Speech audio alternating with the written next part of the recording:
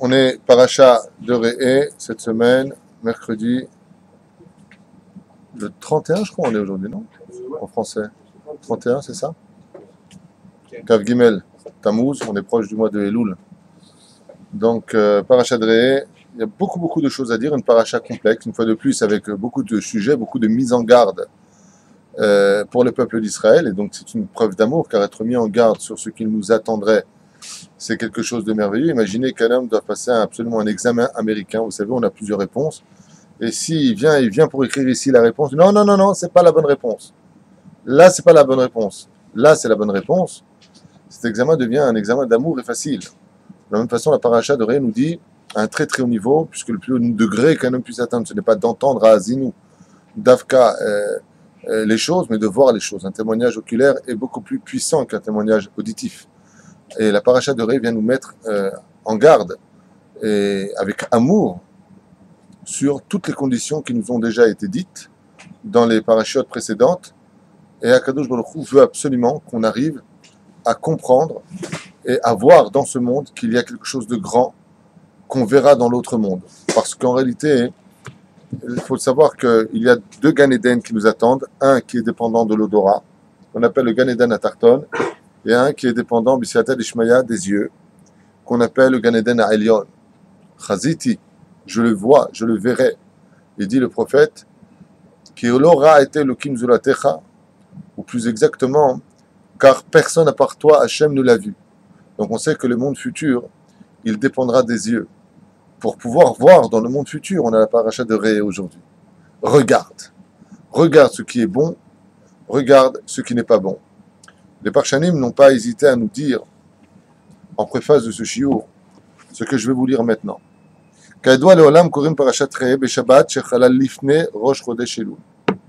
Toujours, la paracha qui précédera le mois de Elul, Elul Ba.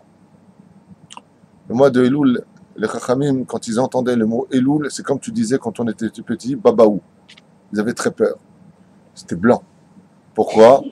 Parce que le roi des rois se déplace lui-même dans le monde d'ici-bas. On ne fait pas un, un, sur le mois de Elul ni sur euh, les slichot en ce moment, ne sera pas chadoré. Juste pour comprendre que la mise en garde que nous avons, qui est remplie d'amour, est bien détaillée jusqu'à la cache-route, les animaux purs et impurs dans cette paracha. Euh, où est-ce qu'on devra manger les corbanotes, les qui, qui, étaient sur Misbéar, véchoulé, véchoulé. Tout ce qui est marqué dans cette paracha. Ton titen, tu donneras aux pauvres. Toutes ces choses qui nous sont données ici sont une préparation à la vraie teshuva. Alors voilà ce qu'il nous dit. Au Beshabbat, la Akorim Parashat Shoftim. Si vous observez bien, donc, qu'est-ce que ça nous ferait comme situation? On a la paracha de Ré qui est maintenant, on a la paracha de Shoftim qui suivra, et après, Val Sederze Korim Parashat Kitetse la la paracha de Kitetse, Kitavo Nitzavim Vayeler, jusqu'à Rosh Chodesh. Ensuite, après Rosh Chodesh, Yom Kippourim Korim Paracha de Ahazinu, et pour finir, après Yom Kippourim, on dit la bénédiction de Vezot Aberacha. Pourquoi est-ce que le Seder est comme cela? Au, sage d'expliquer et de dire comme cela. Écoutez bien. Le remez, l'allusion qui nous est faite par Dieu ici dans sa Torah, est de nous dire avant Rosh, Chodesh et Loul, Ré, et la paracha qui suit c'est quoi? Shoftim, vois les juges, tu vas être jugé. Vois que tu vas être jugé. N'entends pas simplement. Vois les juges. Ré, Shoftim, prépare-toi à être jugé. C'est pour ça que ce paracha vient ici pour nous préparer au mishpat. Ensuite, il dit, pourquoi Aujourd'hui, on est là. Voilà, j'ai entendu hier encore une personne qui est décédée. Tac, tac. On a mangé ensemble il y a trois semaines.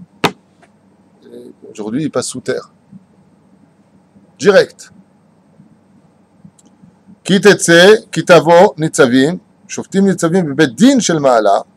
Donc, qu'est-ce qui se passe Une fois que tu as compris que tu dois te préparer, tu sors. Et après que tu sors, tu es mort. Alors, qu'est-ce qui est marqué Tavo, aolam tu dois avancer. Et ensuite, on te dit quoi Nitzavim?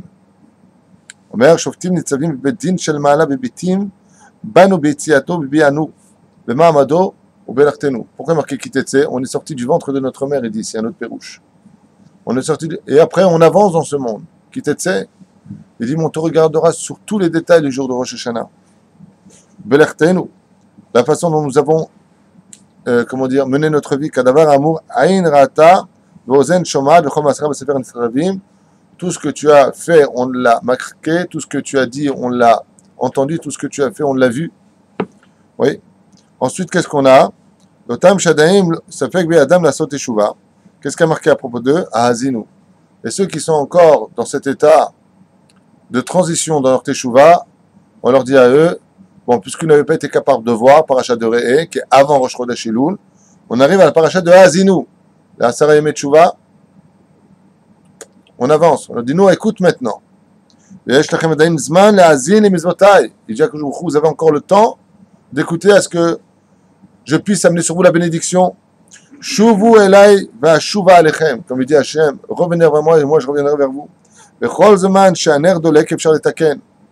Et tant que tu es dans ton corps, tu peux encore réparer. Une fois que tu es en dehors du corps, tu peux plus réparer. Akatuv et donc, une fois que les gens ont fait teshuva, après Yom Kippourim, il nous reste encore une dernière paracha, Vezot Aberacha. Et maintenant que tu as fait teshuva, alors tu verras enfin la bénédiction. Je m'arrêterai là pour la préface de cette merveilleuse paracha qui vient à nous avec amour. Et je dis bien avec amour, même si cette paracha est un peu difficile. Mais est-ce qu'un homme averti, il n'en veut pas deux? Est-ce que c'est pas magnifique de savoir avant même de commencer quelque chose? Imaginez qu'un homme vienne pour faire une affaire et qu'il a un petit génie à côté qui lui dit voilà, cette affaire-là va marcher, celle-là va pas marcher. Ah, mais je voulais faire celle-là. Le mec, il dit mais ça va pas marcher. Il a déjà mis à l'épreuve, il dit que ça va pas marcher. Est-ce que le mec, c'est un pourri ou c'est un mec super? On voudrait se débarrasser de lui. On dit t'es génial, t'es un génie. C'est ce qu'il dit à Kadosh. Je vais te donner le processus à suivre pour que tu réussisses ta vie. Non pas dans un monde de transition dans ce monde, d'ici bas, mais dans un monde d'éternité, un monde qui n'en finit pas. C'est la paracha de Réé. Vois, regarde, observe bien. Et mettre la mytho pour nous-mêmes, quand on voit la vie des gens qui ont vécu en dehors du monde de la Torah, qu'ils soient dans l'opulence ou pas, qu'ils aient vécu avec une non-juive ou pas, quand on observe sans juger, bien entendu, je parle de façon intelligente, de façon sage. Bonichev, boniré. Et que tu dis à la personne, entre nous, qu'est-ce qui te reste de tout ça? Aujourd'hui, voilà, tes enfants ne sont pas juifs, s'il était marié avec non-juive, qu'est-ce qui te reste de tout ça? Qu'est-ce que tu as vécu dans ce monde? Tu as travaillé comme un khmar Est-ce que tu crois que toute la création du monde, l'univers aurait été créé que pour ça? Est-ce qu'une fois tu t'es posé la question? Et c'est pour ça que nous avons toujours ce rendez-vous fatal avec Pessar pour nous dire est-ce que tu te poses les questions qu'il faut? Arba, Banim Dibratora, est-ce que tu fais partie de celui qui ne s'est pas posé de questions Arba Banim Dibratora, il y a quatre formes de caractère chez les, juifs. Est-ce que tu fais partie du dernier shlav, celui qui ne s'est pas posé de questions? La paracha vient nous dire ici, avant Yom Kippourim, Re'e, Natatin Ifnechem, Beracha ou Klala. Alors, d'abord et avant tout, comme le précise le Balatourim, sur ces deux montagnes qu'on appelle selon Rachid le Har et le Har Eval, qui sont cités plus loin dans la paracha, le mot Re'e vient nous apprendre quelque chose d'ailleurs qu'on a Mina Shamaim fait sur le cours de Tomer Dvora. Re'e, c'est au pluriel ou au singulier? C'est du singulier. Kayadoua, c'est le maman le plus connu de ce début de paracha. Re'e, c'est du singulier. Et si c'était du pluriel, on, aurait dit Re'u, regardez. En général, quand tu parles à une personne au singulier, tu finis au singulier. Tu parles au singulier. Le verset nous dit Re'e, anochi noten liftnechem. Et liftnechem, c'est du singulier ou du pluriel? Je donne devant vous. C'est du pluriel. Alors, qu'est-ce que vient ici nous apprendre la Torah?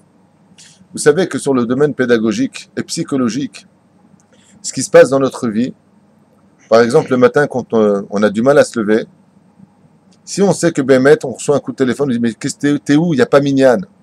Alors, on va se lever très vite. Pourquoi? On a honte. On veut faire la misva de compléter le Mignane. En. Aval, ce qui se passe tous les matins, c'est que c'est pas du tout ça qu'on fait. Bon, je me lève pas, ils n'ont pas besoin de moi. La paracha de cette semaine vient nous dire avant Yom euh, avant le mois de Elul. Mais qu'est-ce que tu fais? Quand Dieu te dit viens voir, il parle qu'à toi au nom d'Israël. En d'autres termes, tu es le Mashiach du peuple d'Israël. Ré aussi grand ou petit sois-tu, ne dis jamais on n'a pas besoin de moi là-bas. On a besoin de toi là-bas. Parce que 11 personnes qui prient, c'est pas comme 12 personnes qui prient ensemble. Celui qui étudie 100 une fois la Torah ne ressemblera jamais à celui qui étudie 100 fois la même Torah. Ré on ne parle que de toi. Et souvent, les gens n'arrivent pas à comprendre cette notion. Quoi ah, Qu'est-ce que vous voulez chez moi? Parce que moi, je suis pas Shomer Shabbat, alors le monde c'est fou. Ah, vous, vous êtes tous des pieux. Et on le voit aussi dans les parents. Moi, Tishma, moi j'ai déjà roulé ma bosse, mon pote. Mes enfants, ils seront dans la Torah si Dieu veut, mes petits-enfants. Moi, c'est fini. Ré Je te parle à toi en douille, je parle pas à ton fils ni à ton petit-fils. Tu as oublié ce qu'a marqué dans le parachat de Noir? Et les toldot Noir, Noir Le vrai et unique fils d'un homme, c'est lui-même. Qui te dit que tes enfants que tu as mis dans la Torah resteront dans la Torah? Tu n'as pas compris que tu es ton seul et unique avocat? Tu n'as pas compris qu'il n'y a que toi. Imena nili mili, dit Hillel dans la 14e Mishnah du premier chapitre de Masechet Avot. Imena nili mili. Si je suis pas pour moi, mais qui le sera? Qui t'a dit que ça marchera? Il n'y a que Dieu qui sait ce qui marche. Nous, on sait rien. Il nous donne un processus. Ré, je te parle à toi. Et sache que toi, tu peux être celui qui peut relever toute une communauté, tout un quartier, tout un peuple. Cette paracha vient nous faire comprendre que chaque juif n'est pas moins important que le Melech HaMashiach. Parce qu'en chacun de nous, il y a le Melech HaMashiach. Noten lifnechem. On apprend une autre notion qu'on appelle la mida de Zelazé. On est tous responsables les uns des autres. Vous regarderez le dernier cours qui a été fait avec ce titre d'ailleurs. Mais ça vient aussi nous faire comprendre ce qu'a dit Hillel Azaken. Dans Masechet Shabbat, Bedaf Lamed Aleph Amoud Aleph, il a marqué là-bas trois histoires à propos d'un goy qui voulait se convertir au judaïsme et qui est parti voir Hillel Azaken. Et à la fin, ça finit avec un sikoum merveilleux qui dit Leolam Adam Anvatan Kilel Azaken, Vilo Yekamdan Keshamay. À tout jamais, un homme devrait être anav dans ce monde comme Hillel Azaken et ne devra jamais être euh, dur comme l'a été en d'autres termes Shamaï. Pourtant, Hillel a dit une phrase qui choque. Hillel nous dit quand Hillel est là, tout est là. Arrête est caché. Imagine, euh, tu rentres et tu dis quand Shemo est là, tout est là. C'est un petit peu compliqué. Est-ce que c'est de l'humilité de dire quand je suis là, tout est là? C'est de l'humilité? C'est pas de l'humilité, c'est honteux, c'est de la gava. Quand je suis là, tout est là quand tu es là, tu es là, c'est tout. Un des hommes les plus humbles de l'histoire juive. On dit que depuis Moshe Rabbeinu, on n'a pas plus, on n'avait pas trouvé plus humble que Hillel Azaken. Hillel Azaken a dit une phrase de lui qui a marqué son empreinte sur terre. Quand moi je suis là, il y a tout. C'est ce que veut dire la paracha. Ré il te dit Hachem. Quand toi tu es là, il y a tout le monde qui est ici. Alpi Kabbalah, ça s'explique d'autres façons. Vous savez que le nom de Dieu ne se lit pas tel qu'on le prononce. On le lit Yud Kevavke, on le prononce on prononce Adnut, Aleph Dalet Nun Vous savez combien Aleph Dalet Nun quand Dieu se dévoile dans ce monde? 65. Hillel, ça s'écrit He Lamed Lamed. He 5, Lamed 30. Lamed 30, ça fait donc 65. Il veut dire Hillel, quand la Torah vient, il y a tout ici. Hillel, Gematria, Shem, Adnut. Ça, c'est l'épisode. Mais ce que voulez dire Hillel, c'est exactement un enseignement qui nous concerne aujourd'hui. Quand toi, tu viens à la Beth Knesset, alors considère que tout le peuple d'Israël est venu avec toi parce qu'un seul juif peut sauver le monde entier. De là, on verra quelque chose qui va poursuivre et nous dire, écoutez bien, Re Anochi, dit Hachem, Noten lifnechem, je vous donne devant vous, car un seul juif peut sauver, par une misva la terre entière. Hayom beracha ou klala. Beracha ou klala. Qu'est-ce que ça vient nous enseigner? La bénédiction ou la malédiction. Et là, il y a un choc émotionnel qui devrait intervenir. Bon, il n'y a pas de juste milieu? Non. Dans ce monde, c'est ou la bracha, ou la klala. C'est la paracha. C'est pas moi qui l'invente. Il n'est pas content, il va au côté. Ouais, pas content, pas paracha. Ou la bracha, ou la klala. Dans ma Maseret Sanhedrin, quand on nous parle de la venue du Melech HaMashiach, Bezrat Hashem, il y a marqué En ben David va, le Mashiach ne viendra que ou si tout le peuple est tzadikim, ou si tout le peuple sont des Rechaim. O kolo, o kulo, chayab, o kulo zakai. où il est Zakai complètement, ça n'existe pas. Même à l'époque de Moshe Rabbeinu Alav Shalom, il y avait, à l'époque de Chizkiah Amelech, il y avait des Rechaim. La preuve en est, ceux qui sont partis, qui ont été écartelés par, euh, euh, par euh, c'était des Kohanim qui n'étaient pas d'accord avec la décision du roi en disant non, pas du tout, faut se rendre. Mais non, on a de On va pas signer à chaque fois des contrats d'Oslo pour se faire avoir plus tard. Non. C'est impossible de trouver une situation où tu que des tzadikim gmourim dans une génération. En tout cas, on l'a encore jamais trouvé. Ça n'a jamais existé que tout le monde soit vraiment zéou, zéou. Il n'y a, plus, il y a, plus, il y a plus de problème. Si c'était le cas, on aurait eu la Géoula. Et l'inverse aussi. Exactement. On n'a jamais trouvé une situation où il n'y a que des Réchaïm. Il y a quand même des tzadikim. Même à l'époque du premier temple, deuxième temple, nous avions nos prophètes qui étaient de vrais tzadikim. Et je rappelle que la Torah ne mentionne pas tous les prophètes, mais on en a eu plus d'un million et demi. Même si on a les douze petits prophètes et les trois grands prophètes. Ce sont les principaux qui ont eu des messages pour les générations futures, mais les autres ont eu des messages pour leur génération à eux, et ils sont très nombreux. Donc tu ne peux pas venir dire que une génération est Ukulo Zakai ou Ukulo Chova. Tu peux pas, tu peux pas dire une chose pareille. Pourtant, c'est ce qui a marqué. Et c'est ce qui a marqué aussi dans la Torah. Je mets devant toi la bracha ou la klala. Il n'y a pas bracha klala. Non.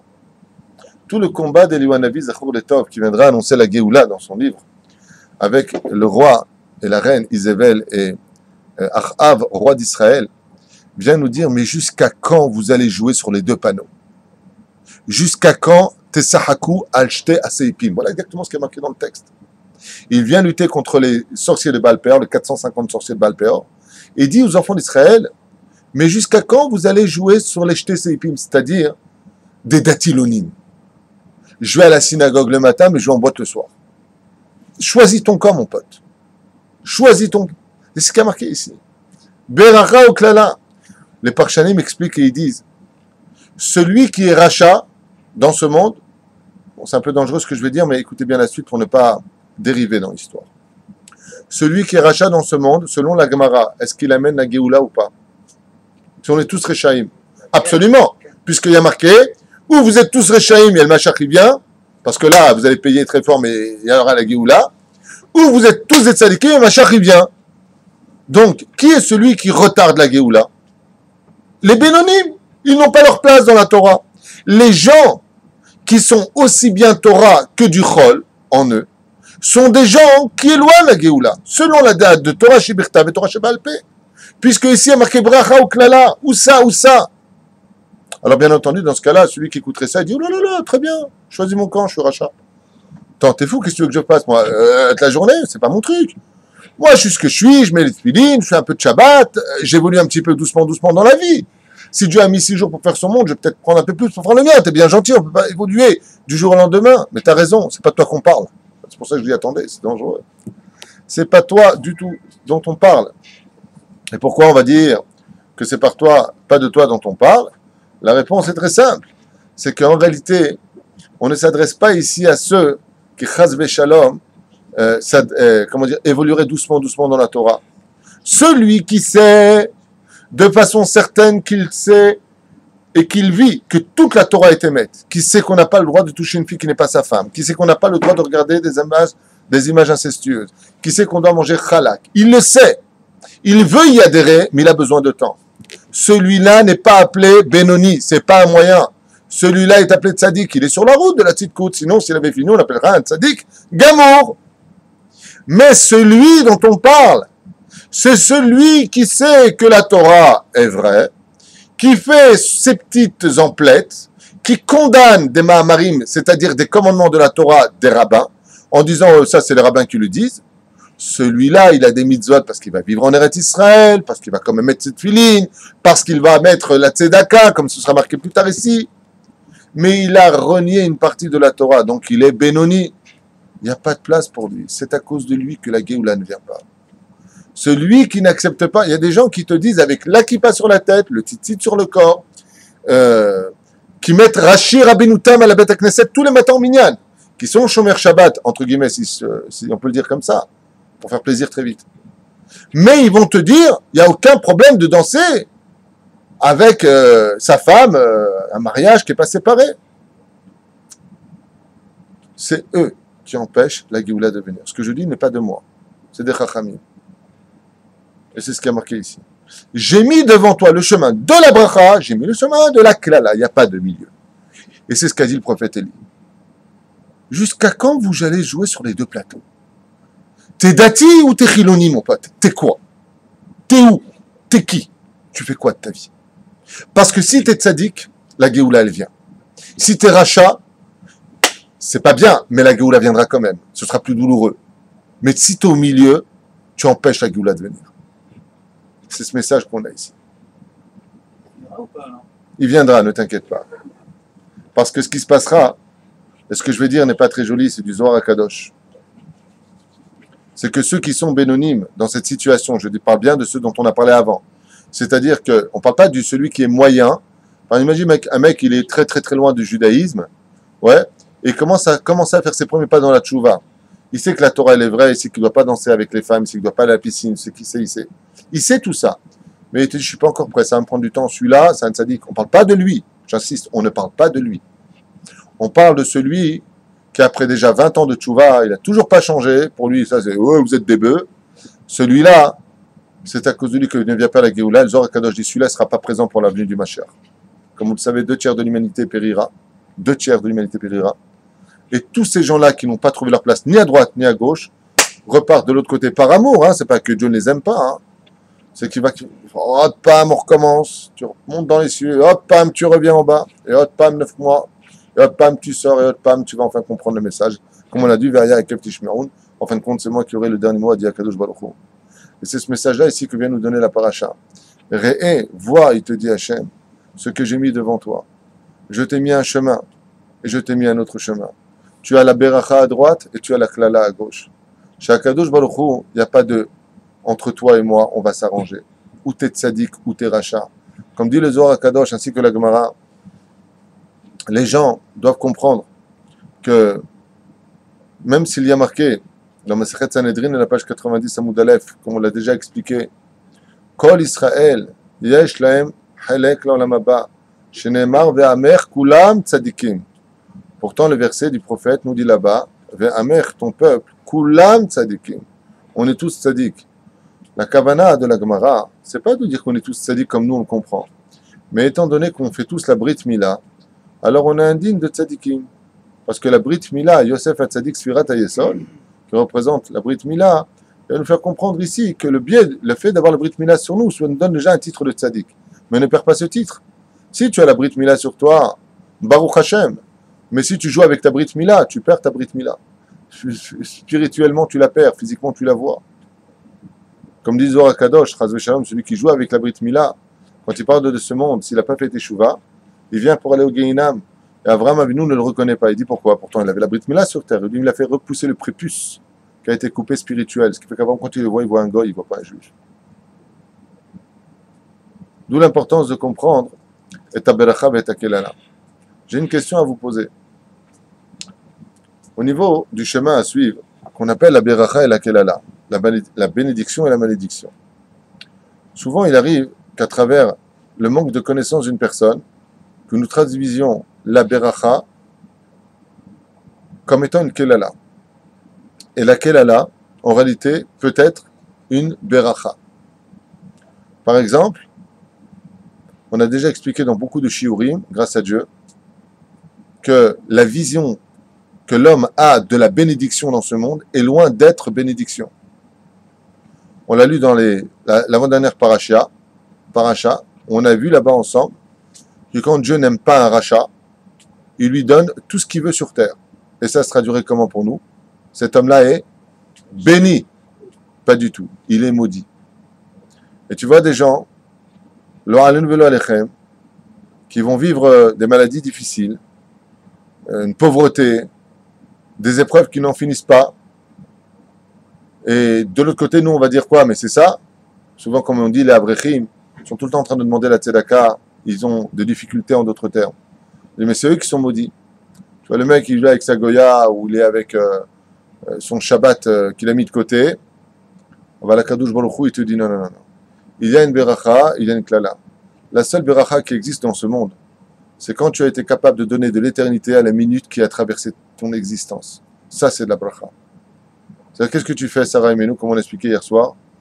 Jour comme nuit, on a dit dans, dans le verset Mazé, tous les jours de sa vie, cette femme virtueuse, le jour comme la nuit, elle a donné de l'existence, de l'éternité à sa vie. Elle n'a pas perdu une seule seconde. La Gemara nous dit, un homme rendra des comptes, même sur la salive qu'il a avalée. Les murs viendront témoigner de la discussion la plus légère qu'il aurait eu entre lui et sa femme. En d'autres termes, ça veut dire quoi, la salive qu'il a avalée? Quand tu étais en train d'étudier la Torah, est-ce que tu as avalé ta, ta salive doucement pour prendre un mot de Torah? Ou est-ce que tu as avalé ta salive très vite pour gagner encore un mot de Torah, puisque comme il a marqué dans le livre Binyan Olam, Perek Aleph, chaque fois qu'un homme prononce un mot de Torah, il crée un ange blanc. Et on a besoin de ces anges blancs, on a besoin de ces anges blancs pour monter sur la balance et équilibrer notre existence. Ayama Assez raconte une histoire d'un homme qui avait énormément souffert. Il est en Russie, énormément souffert. Non seulement il travaillait extrêmement dur, mais en plus, cet homme-là, miskin, il n'avait pas d'argent, il s'en sortait pas. On aurait eu l'impression, hein, quand quelqu'un travaille très dur et qu'il n'a pas d'argent, qu'est-ce qu'il dit en général? Je suis maudit, c'est pas possible. J'ai pas de bracha dans ma vie. Alors cet homme-là s'est renseigné à l'époque de l'or noir. Vous vous rappelez de cette époque où tout le monde voulait partir aux États-Unis, il y a à peu près 260 ans. Tout le monde courait vers les États-Unis. On pensait qu'on trouverait de l'or par terre. Et il a dit à sa femme, sa femme lui a dit, je me suis renseigné, effectivement, j'aimerais bien partir de Russie, puis on va aux États-Unis s'installer. Alors ils sont partis voir le rabbi. À l'époque, c'est pas comme aujourd'hui.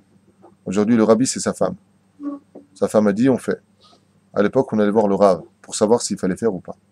Et la femme, ainsi que le mari, étaient assujettis au conseil du rabbin. Top. Mais aujourd'hui, on a trouvé un joker. Comme tous les rabbins sont des voleurs, tous les rabbins sont des arnaqueurs, tous les rabbins sont des hommes à femmes. Donc on, salit le monde des rabbins, comme ça on dit Ah, moi je préfère être ce que je suis que d'être ce qu'ils sont. Shaim. Un Hashim Reshaim. Des gens vraiment mécréants d'esprit. Avalomeshane. Qu'est-ce qu'il a fait lui? Il est parti voir son rab, le god arabe. Je m'en sors pas financièrement. Il y a beaucoup de juifs qui partent aux États-Unis. J'aimerais partir prendre le bateau avec eux. D'ici deux semaines, il y a un bateau qui part pour les États-Unis. S'il vous plaît, donnez-moi la bracha pour que j'y aille je souffre trop. Le Rav, il lui a même pas répondu, il s'est levé, il est parti une Gemara, il, je même pas t'écouter. Quand il rentre à la maison, il a dit à sa femme, euh, bon, ben, qu'est-ce qu'il a dit le Rav? Ben, il a rien dit. Comme ça, il a rien dit. Comme ça, il a rien dit le Rav. Tu es parti le voir, tu as attendu, tu n'as rien dit Non. Bon. Ok, qu'est-ce qu'on mange ce soir? Bah écoute, peut-être qu'il nous reste un peu de carottes d'hier ou avant-hier, regarde. Hmm. Qu'est-ce qu'il mange ce soir ton rave Comment ça, la, femme a commencé un petit peu les boules, tu vois? Pas très contente.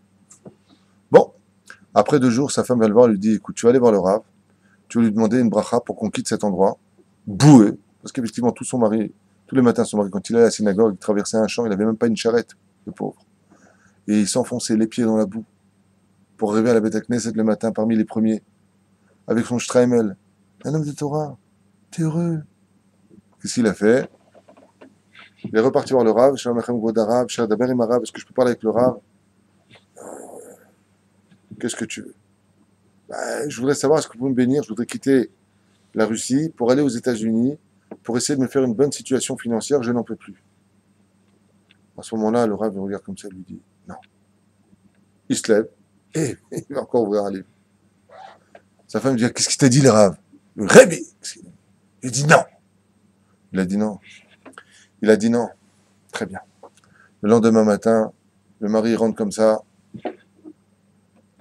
Il voit que la maison est presque vide. Sa femme, elle l'attend avec des billets, les valises sont faites. Elle dit voilà, j'ai acheté ton billet pour le Titanic, l'autre billet pour moi. Il va pas nous couler celui-là. Parlons du rave commence à parler mal du Rav. Ah oui. Les enfants, les valises sont faites. Alors il lui a dit, d'accord, mais tu veux pas quand même comprendre la bracha de notre Rav S'il veut pas nous la donner, qu'il se la garde. Ah, ah. Bon. Très bien. Qu'est-ce qu'il a fait? Il est parti voir son Rav quand même. Il a dit à sa femme de venir. Et à ce moment-là, le Rav, quand il les a vus venir, il a commencé à sourire. Vous savez, les petits vieux là qui comprennent rien là, avec le Streimer, on dirait des champignons. Il lui a dit hum, Venez, venez ici. Et lui et sa femme sont venus le voir. Il dit Écoutez, Arabe, on n'est pas venu pour vous demander la permission, avec tout le respect qu'on vous doit. On est venu pour vous dire au revoir. Merci pour tout ce que vous avez fait pour nous. Todaraba à la colle. Est-ce que vous voulez nous bénir Oui ou non? Sinon, on s'en va. On en a marre de vivre une vie de maudit sur terre. Le Rav, qu'est-ce qu'il a fait? Il s'est levé de son siège, de son fauteuil. Il a dit comme ça Je vous bénis qu'à une condition. Une seule. Il a vu les valises dehors. Il dit Voilà, je veux que vous asseyez sur mon fauteuil. Un fauteuil très large. Il a dit au couple Asseyez-vous juste sur mon fauteuil. Et la femme lui dit Après? Dit Après? Eh bien, après, vous pourrez partir. Ah, très bien. Dès qu'ils se sont assis sur le fauteuil, ils se sont évanouis. Les deux. Sur place, ils ont quitté leur corps. Ils se sont vus, ma mâche, comme un mort clinique, sortir du corps et monter vers des sphères supérieures. Et voilà qu'en montant et en montant et en montant, dans ce merveilleux couloir de lumière, ils se sont retrouvés par la suite, lors à Alechem, dans un monde extrêmement, extrêmement bizarre, extrêmement lumineux et obscur. Et là-bas a commencé leur jugement depuis qu'ils sont venus sur Terre. Et là, on amène une grosse balance et des millions d'anges blancs montent sur la balance. Et là, malheureusement, il y a plus d'anges noirs qui sont montés sur la balance. C'était des gens qui faisaient un peu plus attention à ce qui rentrait dans leur bouche au niveau de la cache-route, mais qui ne faisaient pas assez attention à ce qui sortait de leur bouche. Il y avait du lachonara, il y avait des avérotes de, de Chilul Shabbat qui avaient été faites, il y avait des avérotes d'humiliation qui avaient été faites, il y avait plein d'avérotes qui avaient été faites, qui avaient été ignorées, des mauvaises pensées quand il avait 20 ans, qui n'ont jamais été réparées. Et là, à ce moment-là, la, femme, elle voit son mari qui se met à pleurer et à hurler. Non, non, non. Pourquoi? Ils sont les, le souffre du, du Gainam qui commence à monter vers lui. Il n'est pas bien du tout. Il commence à pleurer. Et la femme, elle pleure. Et à ce moment-là, elle dit Mais Ribono Shalolam, j'ai une question à poser, maître du monde. Mon mari, tous les matins, mais tous les matins, et elle pleure, tous les matins, il allait à la synagogue à 4 heures du matin. La boue qui était sur ses chaussures que je nettoyais tous les soirs, on ne peut pas la mettre dans le poids. À ce moment-là, Kadosh Baruch il dit très bien, comptabilisez la boue de cet homme-là, de toute sa vie, et mettez-la sur la balance. Et à ce moment-là, la femme et l'homme, ils disent Oui, encore de la boue, il y en a encore un petit peu ici, oui, il y a encore deux en arrière, mettez de la boue. Et ça commence à, se rééquilibrer. Et ils pleurent tous les deux Mettez encore de la boue, il manque encore de la boue, juste pour que. Il n'y ait pas de gainam pour les deux. Et à ce moment-là, ils étaient tellement en train d'hurler que sans s'en rendre compte, ils étaient redescendus dans leur corps. Et sur le fauteuil, tous les deux, devant le rabbi, ils disent oh, Mettez de la boue La boue Il faut. Et ils réalisent comme ça La boue Le rabbi leur a dit Vous voulez partir ou vous voulez encore ajouter un peu de boue? Ils se sont levés tous les deux. Et il leur dit Je vous bénis, vous pouvez partir. Il dit Maintenant, on a compris. Vous n'êtes pas maudit, leur a dit le rabbi. Vous réglez vos dettes. Vous avez des dettes qui sont très lourdes. Vous avez des dettes parce que vous êtes tellement apprécié d'Hachem que qui paye ses dettes s'enrichit. Ce que vous avez traduit comme étant une klala, c'était une bracha. C'est pour ça que les lettres du mot kelala, si vous observez bien les lettres du mot kelala, Kouf, Lamed, Lamed, He, Keren, Kayametlo, Laolam Abba. Quand tu te vois, toi, comme un homme maudit sur terre, en réalité, ce n'est rien d'autre que ton Keren, ton capital t'est gardé pour le monde futur, pour un monde d'éternité. C'est pour ça qu'il faut faire très attention à notre niveau à nous quand on parle de bénédiction et de malédiction. Un homme qui réussit tout dans sa vie, c'est pas forcément un homme béni. Ça peut être un homme maudit. Et un homme qui souffre énormément dans ce monde, c'est pas forcément un homme maudit. Ça peut être un homme béni. À l'image du Baal Shem Tov, Rabbi Israël ben Eliezer a eu une fois un de ses élèves qui est venu le voir avec de grosses larmes. Il a eu des très très très gros problèmes. Au niveau de son couple, c'était catastrophique. Ses enfants, il n'y avait pas pire. La santé, j'en parle même pas. Et les finances, il n'y a pas de mots. C'est la rate qui, se dilate, le menton qui est trop long. Le mec, euh, il s'appelle Tisha B'Av. Il est foutu. Il est parti voir le Rav, son maître, le Baal Shem Tov, il lui a dit Rav, est-ce que vous pourriez m'expliquer pourquoi j'en suis là dans ma vie? Vous voulez me dire ce qu'il veut chez moi, Dieu? J'étudie la Torah, je fais de la tzedaka, je respecte mon épouse, je me suis tellement arrangé sur tellement de choses. Qu'est-ce qu'il veut? Il veut ma mort, qu'il me prenne. Mais je voudrais juste qu'il arrête mes souffrances. Il lui a dit, écoute, le Baal Shem il n'y a qu'un seul homme qui pourra répondre à ta question sur Terre. Il lui a dit dans tel et tel village en Russie, si tu vas le voir, lui te donnera la réponse. Et lui dit très bien. Il dit comment il s'appelle? Il lui a dit Itzik Akatsav. Itzik le boucher, c'est son nom. Il dit lui, si je vais le voir, il lui dit il est là-bas dans telle et telle ville, va le voir et il te dira exactement comment arrêter tes souffrances. Pourquoi tu en es là? Sans hésiter, cet homme-là, miskin, il essaie de prendre une diligence et pendant deux semaines de voyage, il arrive enfin dans cette ville. Et là-bas, il regarde comme ça, il a dit le Baal Tov, il m'a dit que je trouverais très facilement, j'espère que je vais vite le trouver. Il dit bon, ben, je vais demander, après tout, euh, dans le village juif, ils vont trouver, dans cette grande ville, il y a le grand quartier des juifs, ils vont trouver. Quand il rentre là-bas, il dit bonjour, bonjour, shalom. Oh, shalom, shalom, tout le monde est souriant, tout le monde est agréable. Il dit, vous pourriez me dire où je peux trouver Itzik le Katsav Et les gens, dès qu'ils entendent ce nom, ils pâlissent, crachent par terre, lui donnent le dos et s'en vont. Waouh Et au fur et à mesure où il s'engage dans les rues, il cherche les boucheries. Partout où il va, dès qu'il prononce ce nom-là, il comprend qu'il s'agit d'un nom maudit dans les oreilles des Juifs. À un moment, Miskin, avant de sortir de la ville, près du cimetière, il y avait un boucher qui était là-bas. Il rentre comme ça désespéré après une journée entière de recherche. Il dit, excusez-moi, je peux vous poser une question sans que vous fassiez la tronche, sans que vous crachiez par terre, sans que vous vous fâchiez, sans que vous Je cherche quelqu'un.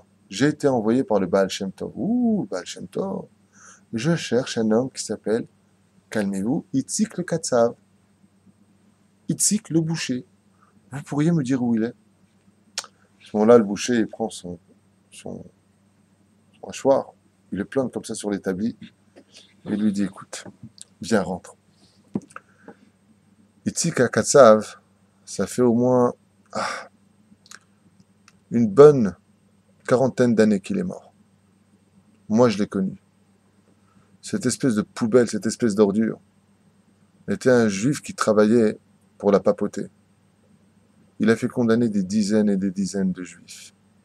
Il vendait les juifs au gouvernement. La minim et la machine C'était un colporteur, un collabo. Alors ici, tu parles aux enfants de tous ceux qui l'ont connu aux parents qui ont été vendus par lui, qui ont fait de la prison, qui ont vu leurs propres enfants pendus par lui. C'est pour ça que tout le monde te donne le dos dès qu'il prononce son nom. Alors il lui dit, il est où maintenant? Il lui dit, il est jeté avec les chiens là-bas. Tu vois le, cimetière, derrière les chiens, il est là-bas avec eux. C'est là-bas qu'ils l'ont enterré. À ce moment-là, ne comprenant absolument pas du tout le message du Baal Shem Tov. Cet homme-là est parti jusque devant la tombe. Et là-bas, il voit un truc par terre, tout cassé. Et il repère le nom, Itzik le boucher. Quand il retourne, après deux semaines, avec toutes ses douleurs, chez le Baal Shem Tov, il ouvre la porte, il dit, je comprends pas, Gvodara.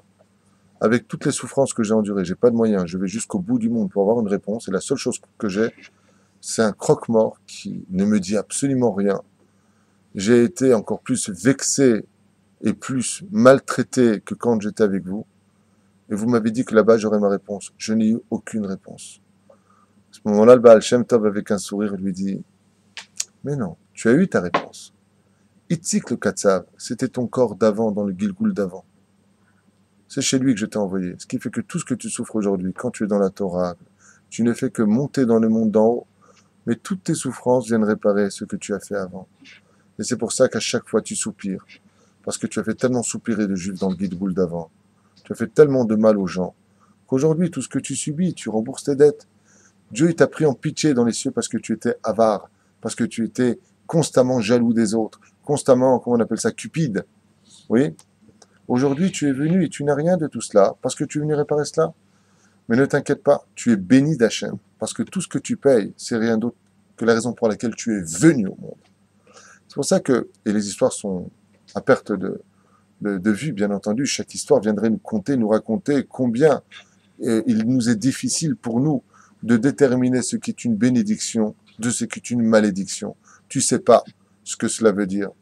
Des gens vivaient très très bien. Il y a un électricien en France, il y a une trentaine d'années, qui vivait très bien avec sa femme. Il avait trois enfants. Il a gagné le loto 7 millions de francs à l'époque. Hein. Euh, il a divorcé. Il voit plus ses enfants aujourd'hui. Il a perdu tout son argent dans les casinos et il est clochard. Quand tu viens et que tu dis j'ai gagné 7 millions de francs à l'époque, t'es béni ou t'es maudit? De prime abord, tu es béni. Chez lui, ça a créé son plus grand Gehinam sur terre. Mais Akadosh Baruch Hu, il te dit, Re'e anochi notem lifnechem beracha kelala. Moi, je te montre c'est quoi la vraie bénédiction.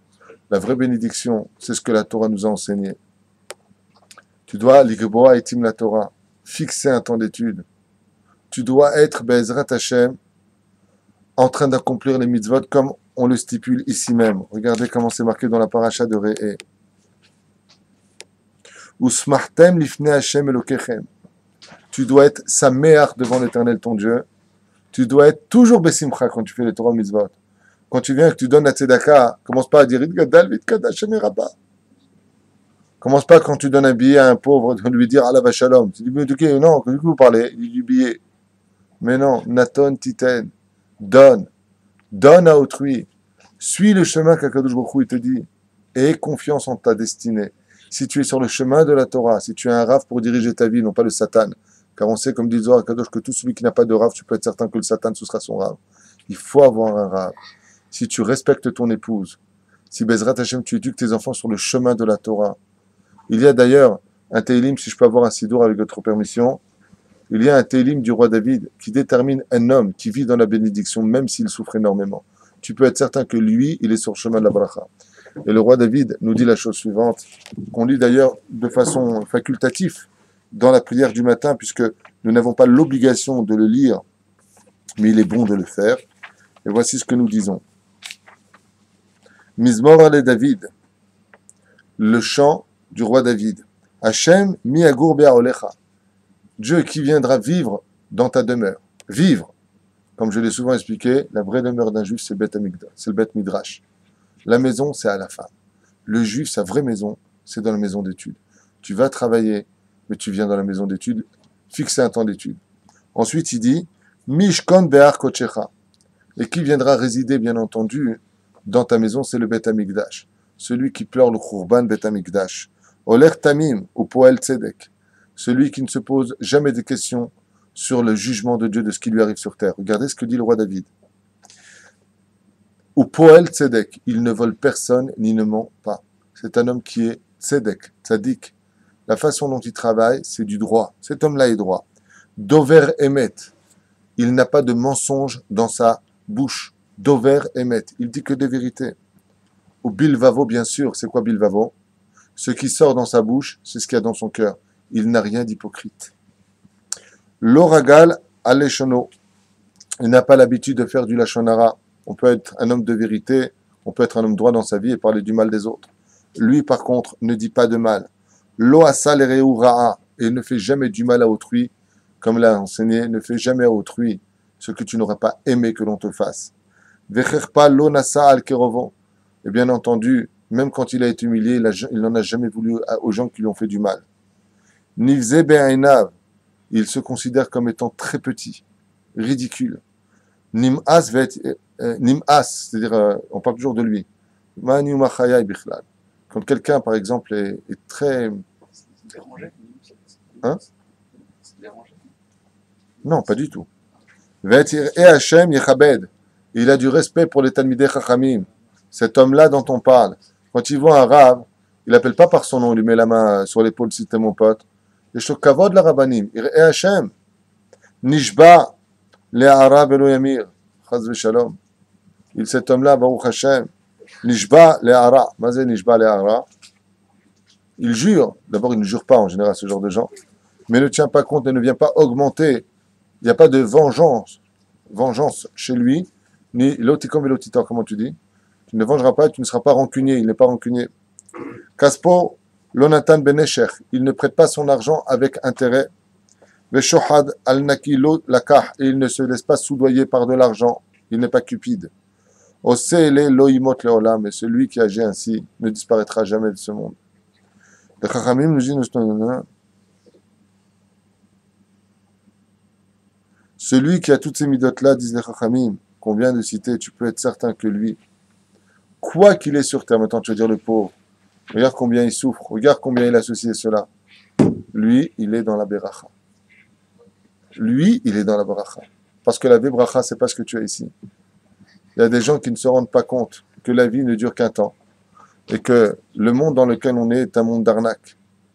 Tu es venu dans ce monde et tu repartiras de ce monde. Naton Titen, comme dit le Zohar Kadosh au nom de la Gemara de Rechagav, quand un enfant vient dans le monde, il vient avec les mains fermées. Et pourquoi il vient avec les mains fermées? Parce qu'il veut tout attraper. Et quand il part de ce monde, l'homme ouvre ses mains automatiquement parce qu'il prend rien de ce monde. Comme le machin nous l'enseigne à propos de ce renard qui manquait un peu d'intelligence. Alors qu'il crevait de faim un jour, il a vu une vigne extraordinaire. Et il était si fin que ça qu'il a réussi à se faufiler par un petit trou qui existait dans la barrière. Et quand il arrivé à l'intérieur, il a commencé à manger du raisin et des volailles. Et il a commencé à manger, manger, manger. Jusqu'à ce que le karatéka est passé à sumo, tellement il a grossi. Et à ce moment-là, le propriétaire rentre à l'intérieur de la barrière. Il vient pour se sauver. En voulant se sauver, bien entendu, il son museau qui passait à peine dans le trou. Il s'est rendu compte qu'il était obligé de se cacher et de remaigrir. Alors qu'est-ce qu'il a fait pour pas être vu? Il s'est faufilé sous terre, il a creusé comme ça, il s'est installé, il a commencé à remaigrir. Et le propriétaire était là avec son fusil, en train de voir, de vérifier que tout était parfait. Quand il a enfin arrivé au poids nécessaire, il est repassé de l'autre côté.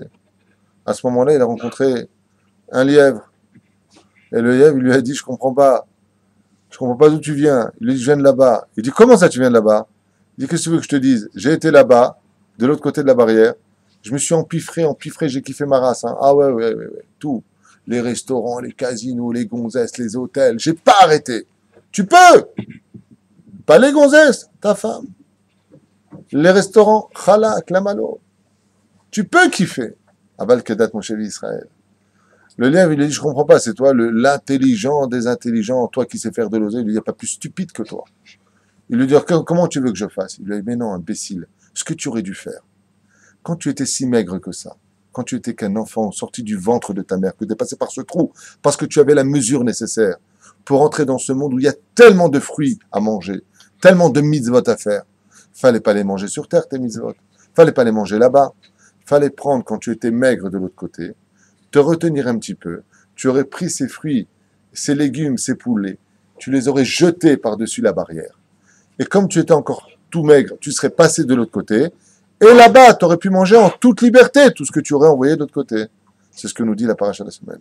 Naton titen. Sois intelligent, car quand tu donnes, tu te donnes. Comme je dis souvent, qu'est-ce que c'est un pauvre que tu aides? Ce n'est rien d'autre qu'un homme qui fait passer ce que tu as dans ce monde de l'autre côté. Parce que tout ce que tu as acquis dans ce monde, t'es sorti, t'es nu. N'oublie pas que quand tu mourras, tu seras encore nu sur la table. On te lavera. D'intérieur et d'extérieur. On te mettra dans un pyjama. On te mettra sur une table. Et pendant que toi, tu rendras des comptes, ta famille sera en train de se disputer ton héritage. Tu prendras rien avec toi. Tes mains vont s'ouvrir. Tu es venu pour tout prendre. Prends Bien sûr que tu prends, mais on voit tout dans mon futur. Soutien des, pauvres, donne à la yeshiva, donne à des kolélim. Prends cet argent et envoie-le de l'autre côté, parce qu'on n'a jamais vu un corbillard suivi par son coffre-fort. Jamais. Sois intelligent dans ta vie une fois. Dis-toi, je comprends pas un truc. Si vraiment tu aimes ton argent, envoie-le dans le monde futur. Si vraiment tu as de bonnes midotes. Et ça, c'est ce qui a marqué ici. Moi, il te dit, Hachem, je te donne un conseil. Je veux pas te voler ton libre arbitre. Tu as le chemin de la bracha, tu as le chemin de la klala. C'est à toi de choisir lequel tu veux prendre. Mais si tu fais ce que je te dis, sache une chose, c'est de la bracha. Tous les grands de la Torah ont souffert. Et pas un peu. Ils ont souffert de toutes les maladies de ce monde. Non seulement ils ont souffert pour eux, mais ils ont surtout souffert pour le peuple d'Israël. Ils ont fait la capara des enfants d'Israël. Mais quelle différence y a-t-il entre eux et nous? C'est que non seulement ils jouissent d'un bien qu'on ne peut pas comprendre, c'est eux-mêmes qui nous jugent quand nous, les petits, on meurt. Mais il faut voir le salaire qui leur est réservé pour l'éternité. Il faut voir de quoi est-ce qu'on parle. Ça dure pas un peu, ça dure pas un an, ça dure pas mille ans, ça dure pas un milliard d'années, ça dure l'éternité. Ça ne finit pas. C'est le Olamaba. Un kef que tu peux pas comprendre. Et tout ça pour combien? 40 ans de vie, 70 ans de vie, 100 ans de vie. Et qu'est-ce que tu as fait de ta vie? Il y a des gens qui engrangent de l'argent toute leur vie des banquiers. Toute leur vie, c'est la banque qui en profite. même des gens qui sont morts sans savoir où était leur argent. Le Zohar Kadosh, il dit le Guéinam finit de brûler tôt ou tard pour le Rechaim, mais pour eux, jamais. Jamais. leur punition ne s'arrête jamais. Pourquoi? Parce que tu avais l'argent qu'il fallait pour monter vers le ciel. Comment on dit l'argent en hébreu? Mammon, Gematria, Soulam. Le mot argent et le mot échelle font la même Gematria. 136. Pour t'enseigner quoi? Que l'argent peut te faire monter très très haut dans le Gan Eden. Tarzik, l'homme des Torah. Soutien des pauvres. Pense au Shabbat pour les gens. Mais attention, hein, pas tu donnes 500 euros si tu as 5 millions d'euros. C'est ridicule. L'homme doit donner selon les moyens que Dieu lui a donnés. Quand un pauvre il donne 100 shekels et qu'un millionnaire il donne 1000 shekels, Barminan chazve de penser une seconde que celui qui a donné 1000 shekels a plus de valeur que celui qui a donné 100 shekels. Celui qui a donné 1000 shekels n'arrive pas au petit orteil du pauvre qui a donné 100 shekels, parce que lui, il a donné une énorme fortune. Des fois, il a donné la moitié de son salaire. Tandis que le riche, qu'est-ce qu'il a donné lui? Ah, Ça va, je mets 1000 shekels, mais c'est rien pour toi. C'est comme ça que tu seras jugé, non pas par rapport à ce que tu vas donner. Un homme qui donne un million de shekels, c'est pas une petite somme, oui. Mais s'il est milliardaire, vous croyez qu'il n'a pas des comptes à rendre? Mais c'est mon argent, c'est pas à toi l'argent, Fabib. J'ai une mauvaise nouvelle à t'annoncer qui est une excellente nouvelle. Sache que l'oseille qui est chez toi, c'est pas à toi. Dieu te l'a déposé, c'est à lui.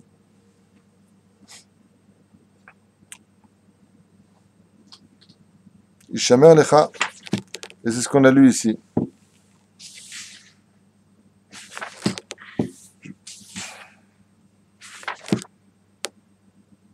Top, ce sont des choses ici qu'on avait déjà vues la semaine dernière à propos. L'ota sekhen Hashem lokecha ki to'avat kol to'avat Hashem asher saner asur Elohim ki gam et benehem Akadosh Baruch nous met en garde puisque cette paracha nous parle essentiellement aussi de vivre en Eretz Israël, de, de revenir sur notre terre, mais elle nous met en garde surtout de ne pas Shalom, faire ce que les nations, les sept peuplades ont fait ici, de sacrifier leurs enfants, Shalom, de l'homosexualité qui avait lieu, de la dépravation, de l'immoralité. Il dit parce que je n'ai pas donné cette terre, on l'a lu la semaine dernière, parce que vous le méritiez. Je vous ai donné cette terre parce que ceux qui y vivaient ne méritaient pas d'y vivre. Je vous ai pris vous à la place. Donc ne continuez pas leur chemin, une fois de plus. Sinon, résultat des courses, c'est vous-même qui libérez les otages qui ont assassiné nos propres enfants. Normalement, dans un pays ennemi, quand tu attrapes des terroristes, ouais, pour qu'ils soient libérés, on envoie, comme dans les films, les commandos spéciaux, Chuck Norris ou les Rambo, il va les libérer. Mais quand on fait des avérotes en Eretz Israël, quand on se conduit pas très bien à Botaï, tu n'as même pas besoin de ça. C'est ton propre gouvernement qui va les libérer, ceux qui ont versé du sang. Et pour t'arnaquer au niveau des médias, on te dit c'est pour le bien du gouvernement d'Israël. La famille qui a été assassinée, euh, la famille qui a été assassinée dans les Yeshuv, Tamar, mais pas que, hein. les soldats qui ont été assassinés, tous ces gens-là qui ont fait un, peu de prison, attention, parce qu'il y a la Croix-Rouge, il y a les médias, mieux qu'un hôtel, oui, ils ont tous été libérés. Mais par contre, les Juifs qui ont assassiné il y a eu des légitimes défenses. Quand tu as un arabe qui tire dessus, tu lui tires dessus. Mais comme ils sont plus pro-arabes que pro-juifs, donc qui est parti en prison, c'est le, juif. Lui aussi, il a dit bah, libérez-moi aussi alors. Je suis un terroriste pour vous, libérez-moi, pareil. Bien sûr que ça a été refusé. Ah non, non. Et pourquoi? Tu sais pourquoi? Parce que la Gemara nous a dit tout celui qui a de la pitié pour les Rechaïm finira par avoir de, la cruauté pour les tzadikim. Aujourd'hui, on est devenus nos pires ennemis. C'est-à-dire que même ce que les armes ne nous feraient pas, on se le fait nous-mêmes. Au niveau du massacre Nassa, au niveau de notre pourquoi. Mais c'est pas, c'est pas là le problème. On a vu que les yeux de Dieu étaient du début de l'année à la fin de l'année. Qu'est-ce qui provoque ça? Alors je sais que ça va pas plaire à certaines personnes. Je leur réponds ouvertement allez vous faire cuire un œuf. Et vous et ceux qui pensent comme vous. C'est nos avérotes. L'opachot, véloyoter. Alors il y en a qui appellent ça une Torah de christianisme. Eux, ce sont des réformistes. Celui qui dit ça, c'est un rachat gamour. Je lui dis en face et qui vient parler de moi en face de moi de Torah. Ou Toré. C'est Noah Averot qui provoque tout ça. C'est pas Bibi Netanyahu qui est le problème. Je vous rappelle que tous ceux qui sont au pouvoir ont été votés par le peuple. Ils ne sont que les représentants du peuple. Mais c'est parce qu'on est trop orgueilleux aujourd'hui. Il faut qu'on fasse ces chouvas. Il faut qu'on se brise un petit peu de l'intérieur. Il faut qu'on fasse vraiment une rétrospection de ce que nous sommes et de ce que Dieu attend de nous. C'est Chazve Shalom, on remplace les Shalosh Regalim par les, par les Regal Gava, les défilés d'homosexualité, comme on a déjà expliqué des centaines de fois. Alors c'est sûr que Nos ennemis n'ont pas besoin, ils peuvent déposer les armes et les bronzer au soleil à hasard. Ils peuvent. Pourquoi? C'est Dieu qui va nous faire perdre ce qu'on a acquis. Ce n'est pas par ta force qu'on a lu la semaine dernière. Ne dis pas c'est par ma force que j'ai acquis. C'est Dieu qui donne ici. N'oubliez pas tout ce que l'on dit. Tout ce que l'on dit toute la journée. On parle comme des, comme des coqs, comme ça. La journée comme ça. On comprend rien à ce qu'on raconte. Sim, shalom, tova, uvracha. Mets-toi la paix, Hachem. sait shalom, bimruma, c'est shalom, alenu. Qui donne la paix en Israël? Il n'y a que Dieu qui la donne. Je vous le dis dès maintenant pour ne pas que vous perdiez du temps. C'est ni le gouvernement, ni les pourparlers, parce que jusqu'à maintenant, ça n'a rien donné. Et sachez qu'il n'y aura jamais de paix, ni avec nous-mêmes, ni avec notre âme et notre corps, ni avec nous et nos ennemis, tant qu'on n'aura pas fait Teshuvah. C'est impossible. C'est les conditions de ce que vient vous enseigner la paracha de Ré. Si tu n'es pas capable d'entendre toute l'année, alors viens au moins voir. Mais si en même temps que tu vois, tu n'es toujours pas capable d'accéder à cela, alors apparemment, c'est que tu es de mauvaise foi. La reine Bezrat Hashem, ou trop stupide, la reine Adam Tzchlizaer, choisis ton camp, mais choisis-le vite, parce que ma chère est là. Sois un homme de Torah. Ça, ce que vous voyez, ce Sefer Torah, vous avez remarqué que le Sefer Torah, d'ailleurs, a des formes de jumelles. Vous avez remarqué, quand je prends un Sefer Torah, sont deux, ça a des formes de jumelles. Et le verset du prophète nous dit, Si tu vois la Géoula, mets ton œil dans l'œil de Dieu. Vous savez ce que ça veut dire? Comment tu veux que je mette mon œil dans l'œil d'Hachem C'est impossible. Et là, Kavana, si tu veux voir la Géoula, mets tes yeux dans le monde de la Torah. Bien sûr, encore une fois, avec euh, le culte de la terre d'Eretzraël. En Eretzraël, c'est sûr Mais ne me fais pas passer Eretzraël avant la Torah. Il faut la Torah et Eretz Israël. Il faut que les deux soient ensemble. Mais si aujourd'hui on est dans un monde où on ne sait plus si c'est une bracha ou une klala, c'est parce que nos avérots l'ont fait. Et celui qui n'est pas d'accord, alors qu'il arrête d'étudier la Torah parce qu'il ne sait pas étudier apparemment. Il n'a pas étudié, comme j'ai dit une fois à certaines personnes, il y a des gens qui, dans leur Sefer Torah, il n'est pas cachère. Mais pourquoi? Il n'y a pas ni Bechukotai ni Kitavo, apparemment. Parce que les, les dans la Torah, ce ne sont pas des clalotes, ce sont des mises en garde. Je pose une question. Un homme dit à son fils, ne mets pas les doigts dans la prise, sinon tu vas t'électrocuter. Le fils dit, attends, tu me souhaites la mort ou quoi? Qu'est-ce qu'on lui dit à ce moment-là, cet enfant? Mais ton père ne te souhaite pas la mort. Il te prévient de ce qui risquerait d'arriver si tu faisais des bêtises. C'est ce que vient nous dire ici la Torah. Fais ce que je te demande, il dit Hachem, tu vivras bien. Tu fais pas ce que je te demande. Tu n'auras pas besoin de, du Hamas pour vider les Juifs du Gouche Ton armée, Tzahal, Tzva, Hagana l'Israël. Mort de rire. L'armée de défense, ceux qui nous ont jetés comme des klebs, ce qu'auraient pas fait les Arabes, on l'a fait. Jusqu'à quand on va faire comme ça? Mais non, pas du tout, tu comprends rien. Les accords qui ont été faits. En attendant, celui qui comprend rien, c'est toi. Parce que tes résultats nous amènent à une catastrophe générale. Et Baruch Hashem, dans le monde de la Torah, on voit ce que ça donne. On a vu qu'Abraham a été puni parce qu'il a sorti 318 Bachouri et Shivot pour aller en guerre pour libérer Lot. Et on recommence les mêmes erreurs. Admatai. La reine est marquée Ré, je te parle au singulier, toi le juif. Ne suis pas le troupeau qui se trompe. C'est vrai qu'après 2000 ans, il faut se juger les caves routes. Qu'est-ce qu'on attendait du peuple Israël On sort des crématoires, tout ce que vous voulez. Mais le code de la route, lui, il n'a jamais changé. C'est la Torah.